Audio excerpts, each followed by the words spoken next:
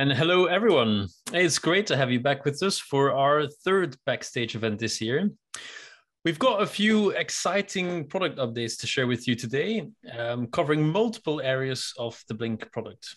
There are three things that we would like to update you on. Sorry, user status, a new feature that will tell your colleagues when you're away from Blink, a new launch page in Hub on desktop, and as Sean mentioned, Blink Identity, a feature set including existing features and three new features that we will be covering today.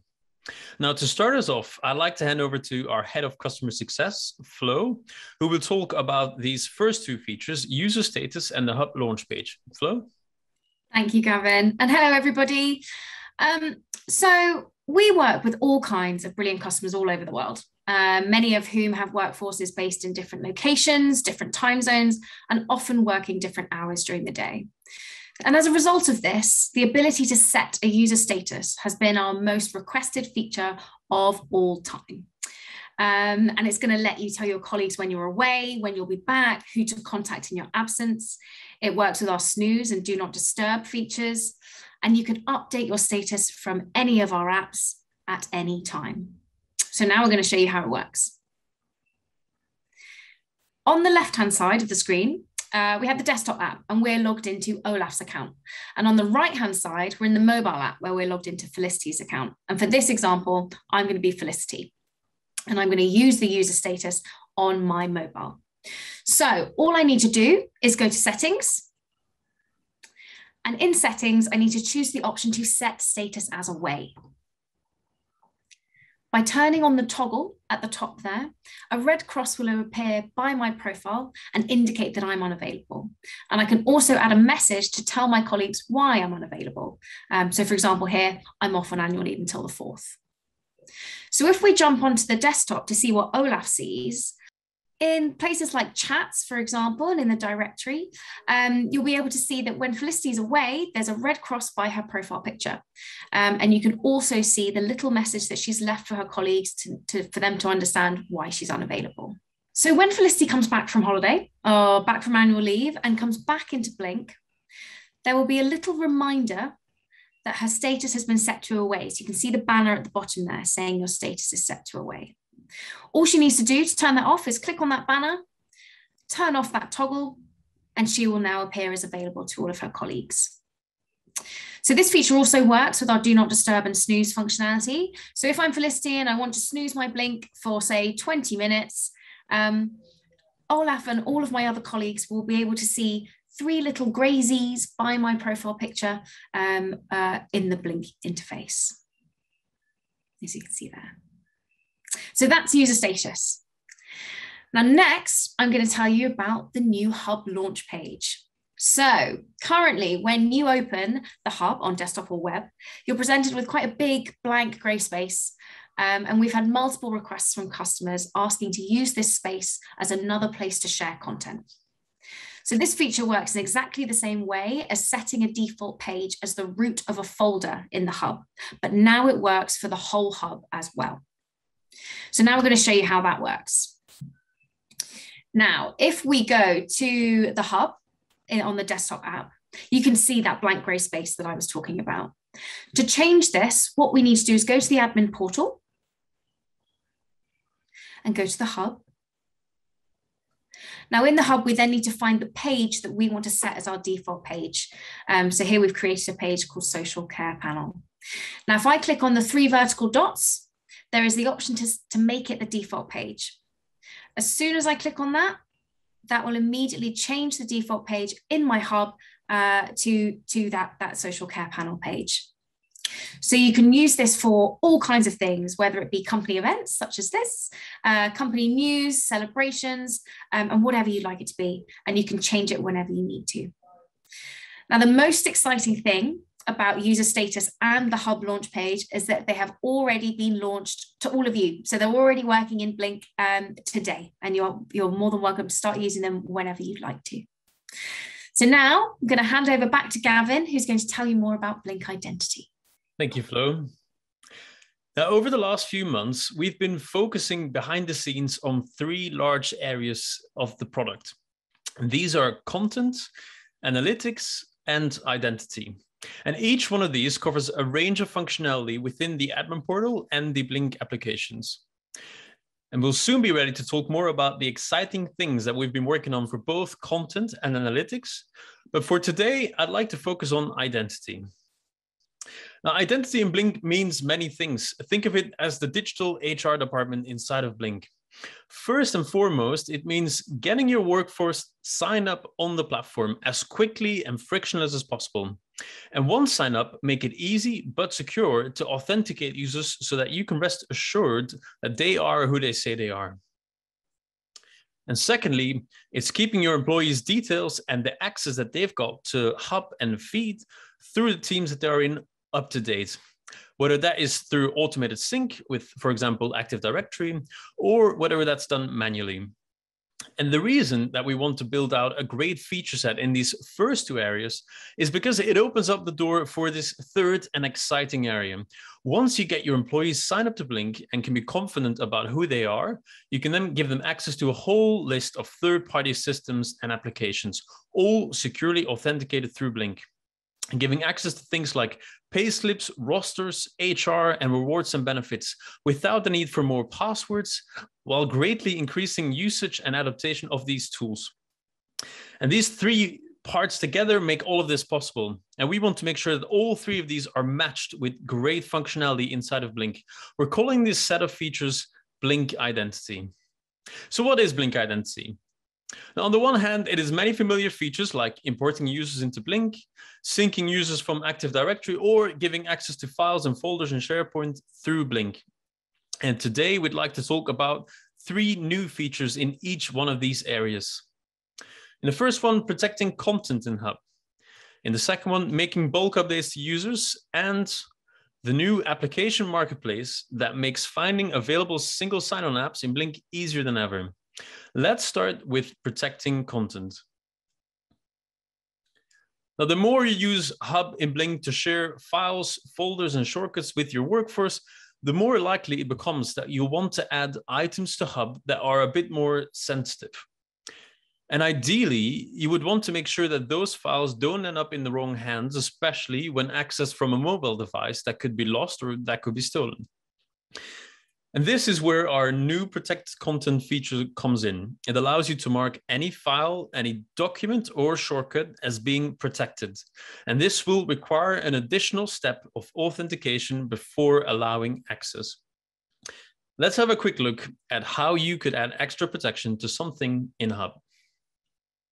So I'm back here in the um, in the Blink desktop application. I'm going to go into the admin portal. And I'm going to go to Hub and find something that I would like to add some extra protection to. For example, this holiday request uh, micro app. So all I do is I go into the three dot menu here and I select this new protect content option. That is now saved and you can tell by the little icon here that this item in Hub is uh, protected. So what does that look like when I'm coming in from the mobile application, uh, when I'm going into Hub? So I'm going to go over to the mobile application here on the right, and I'm going to open my Hub.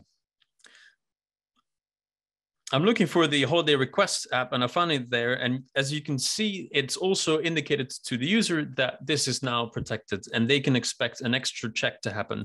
That check could either be, I'm on iOS, so for me, it'll be Face ID, but it also could be through a fingerprint or through a PIN code that you've got set on your device. So I'm going to open it. It's going to do that magical face scan and bam, I'm in. I'm ready to book my next holiday, which has just become a lot easier in the last few weeks. Um, but I'm not going to do that right now. I'm just going to go back out and, and back into the presentation. And that is how simple it is to protect your most sensitive files in Hub going forward with protected content. Now, next up, our second feature, Blink Identity, is bulk updates. And to talk about it, I'd like to hand back to Flo. Flo? Thanks, Gavin. Um, so currently, if you'd like to make changes in bulk to users in Blink, um, administrators will have to do it in quite a manual way, or, or you can lean on us for support. But bulk updates is now coming to you. And what this will allow you to do is make any changes to up to 5,000 users at any one time. Um, so this is going to massively reduce the burden uh, on administrators having to update multiple user profiles on a regular basis. Um, so how's it going to work? All you'll need to do is go to the user section of the admin portal and under actions, uh, choose to export users, which you can do today. Then you will download the new user template, which looks like this. You can then make all of the changes that you want to make um, and save it and then re-upload it into Blink. Uh, and those updates will be made immediately to all of the, those users in one go. So what can you, what details can you actually change? You can change things like name, email address, phone number. You'll be able to do line managers now. Um, you'll be able to update employee IDs and team membership across all of the teams that you have within your Blink environment. And finally, you'll be able to update account status. So you will be able to bulk enable and bulk disable users at the same time. And it's as simple as that. Um, so now I'm going to hand over back to Gavin, who's going to tell you about the application marketplace. Right, thanks, Flo, for our third and final new Blink identity feature, um, the application marketplace.